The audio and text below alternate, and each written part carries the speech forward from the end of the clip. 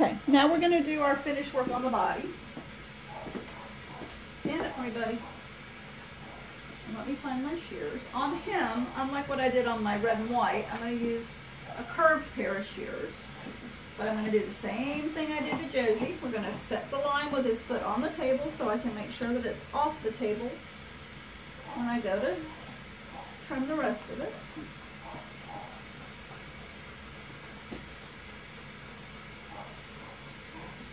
Normally I would have the table up a little bit higher, but then I have to adjust the tripod, so I'm bending over, even though I have an electric table.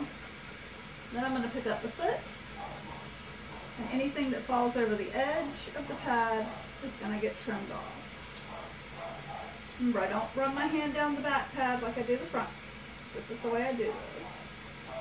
Everybody will develop their own technique, but this technique works really well for me. Now, inside the back leg here, we're going to shape just a smidge where the snap-on didn't catch everything.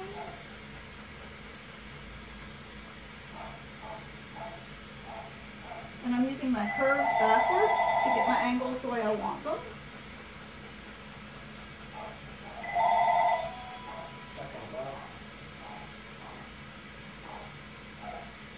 Touch up my underline a little bit.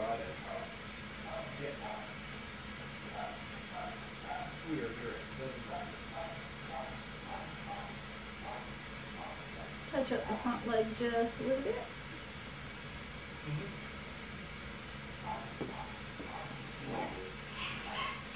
And again, round the foot.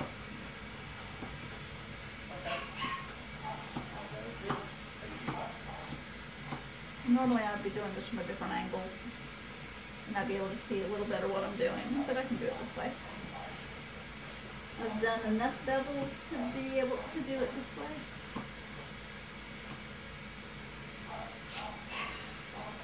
And anybody who knows this dog knows he's always jerked on his front feet.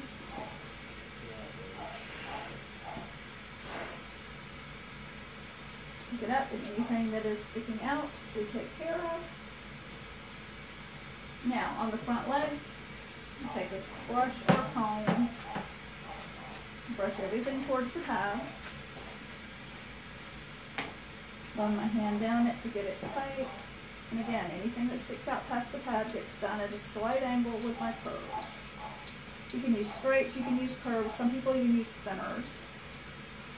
Use whatever you feel like using, whatever's comfortable for you. Hey, buddy. Thank you.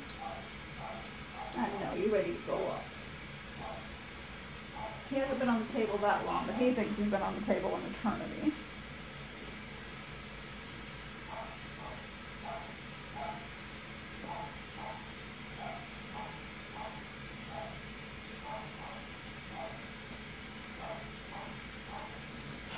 You have seen most of the work that I have done on him on the video clips. I did bulk his back out when I thought the camera was running and it wasn't, but that might have been five minutes. It wasn't long to bulk the back out and set my lines roughly.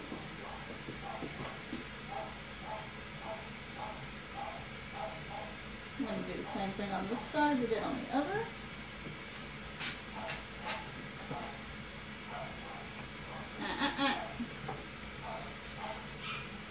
Foot on the table. You see Luke.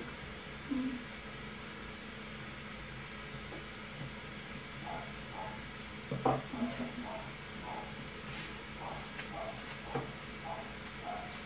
Comb the foot. Pull the hair down.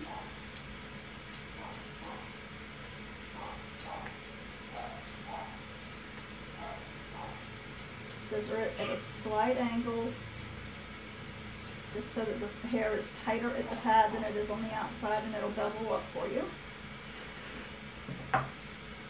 Now, one thing I want you to notice is that I did not touch the top of the foot because it comes up into the leg hair. And go back now and tighten it up just a little bit so that it does come right up into the legs. But you do not touch the top of the feet if you don't have to. If you run your snap-on comb down the top of the feet, it's going to look funny and you're going to have a weird shape. That's when people have a hard time beveling is when you've taken off that hair. You need this hair to bevel.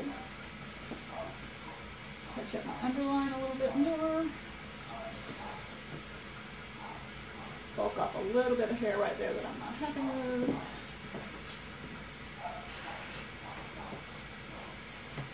Set this bevel.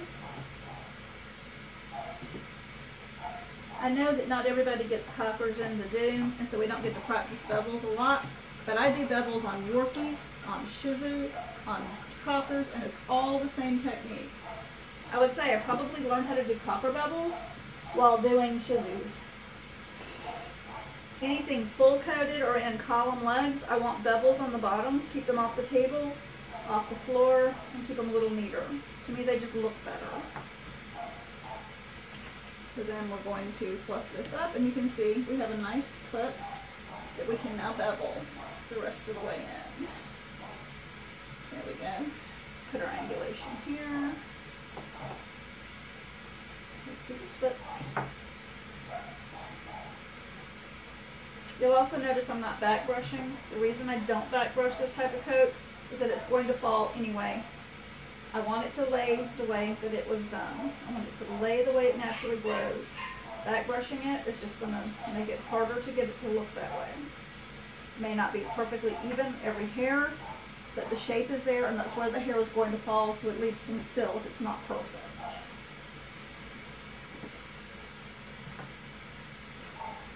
All right, pretty happy with that. I'll go back and touch them up a little bit.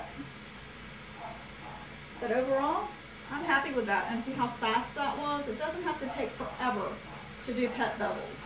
In the cocker ring or competition ring, or if he was showing, I would spend an hour on those feet. But there's no reason to do it in a grooming shop at all. These feet are perfectly fine for what I have of the dog. They'll match the dog's haircut, and they were super fast and easy to do. Just finish touching them up. And then we're off to the crown. I always save his crown for last. I'm not really sure why, but I do. Alright, let's stop this and start another one.